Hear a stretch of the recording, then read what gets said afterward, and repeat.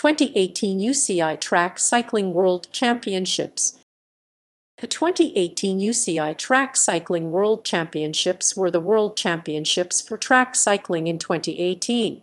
They took place in the Netherlands at the Omnisport Apeldoorn from 28 February to 4 March 2018.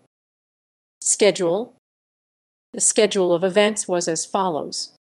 A equals afternoon session, E equals evening session Q equals qualifiers, R1 equals first round, R2 equals second round, R equals repêchages, 1 slash 16 equals 16th finals, 1 slash 8 equals 8th finals, QF equals quarterfinals, SF equals semifinals, SR medal summary, medal table, medalists,